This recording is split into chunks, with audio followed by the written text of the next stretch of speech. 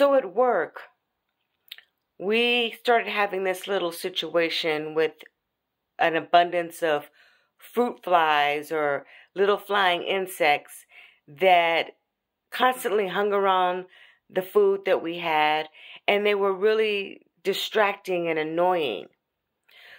The company decided to invest in these little um, lantern looking devices that were very ornate and very attractive looking, but they also emanated a blue, I would guess you would say ultraviolet light that attracted the insects.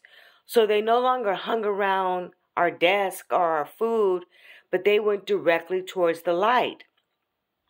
And as they hit the light, you would hear a zapping sound, meaning that they were killed instantly.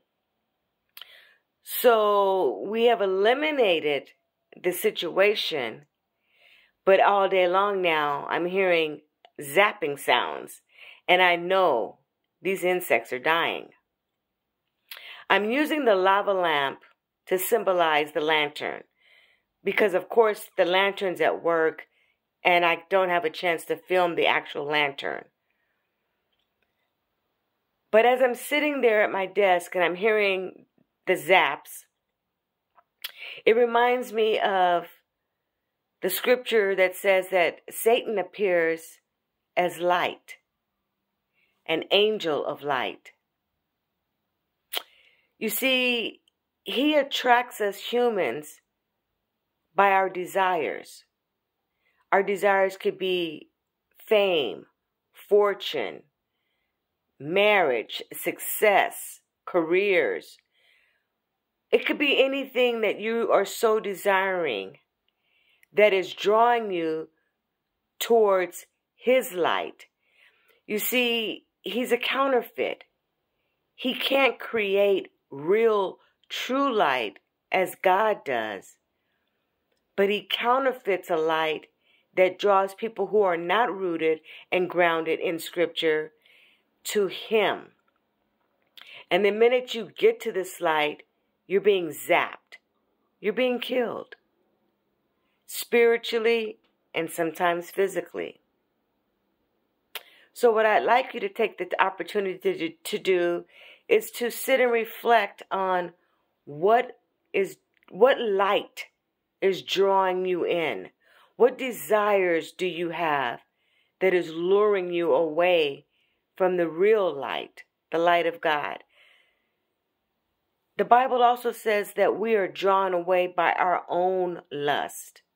You see, the enemy studies you and he knows your weaknesses. He knows what to do to attract you. Just like that lantern at work, that blue light, for some reason, attracts those bugs and they draw into it. I mean, I'm constantly hearing zapping sounds all throughout the day. And it's amazing me that they no longer want to be around the food, but they want to go towards this light. So again, stop and ask yourself, what is drawing you? Is it something that's going to take you towards truth? and your purpose?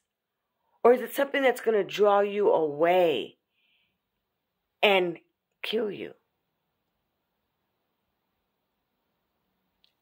That's all I'm asking. This lava lamp is not doing what it usually does, and I guess because it's old. But then again, aren't all the tricks of Satan old? Once you realize one trick and you overcome it, he can't get you with that same trick. And he doesn't have that many in his repertoire. Trust me, they get old pretty fast if you pay attention. Start paying attention.